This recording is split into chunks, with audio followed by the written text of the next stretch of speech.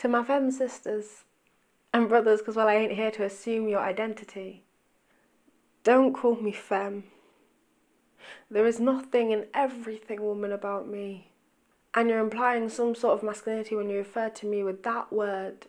That to love a woman means I, or we must succumb to some masculine stereotypes, and only when we don't are we femme. Am I not female no matter what?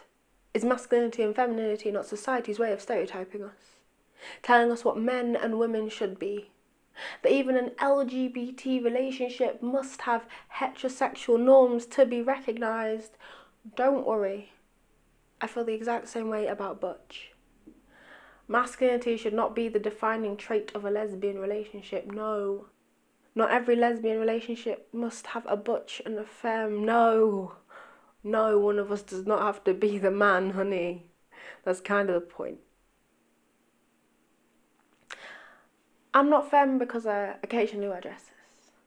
Because I own more lipstick than insert any sexual orientation here.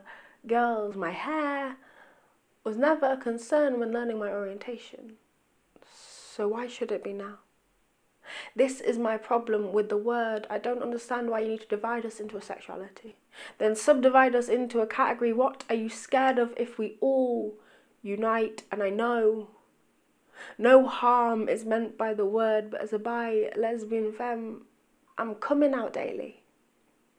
Which I guess is a blessing in disguise, but it's also just a pain. I'm constantly told, well, you're too girly to be gay, well, you're too smart to be ignorant.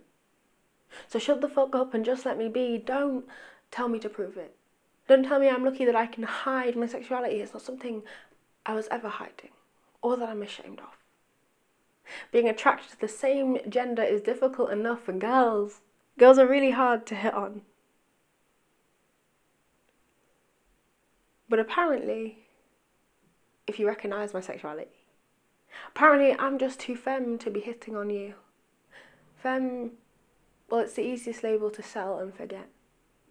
My best friend forgot, told me she thought I was joking after I came out for the fourth time and the fashion industry literally sells them on a t-shirt.